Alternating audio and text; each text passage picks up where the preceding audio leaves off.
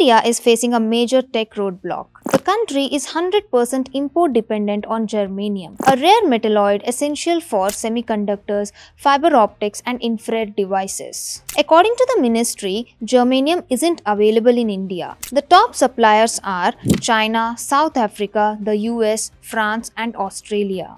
Germanium is a semiconductor. Its conductivity changes with temperature and doping, making it ideal for electronics. It's also transparent to infrared radiation used in night vision tech and military optics. This brittle grayish-white element was predicted by Mendeleev as Eka silicon and later discovered by Winkler in the year 1886. But the issue today is geopolitical. China, the world's top germanium supplier, has imposed curbs on exports, inflating costs for India. Even tech giants like Foxconn are facing blockades in moving personnel and equipment out of China. With rising strategic pressure, India's dependence on critical minerals like germanium has become a national challenge. Should India establish strategic reserves or domestic alternatives for critical minerals? Share your thoughts in the comment section below.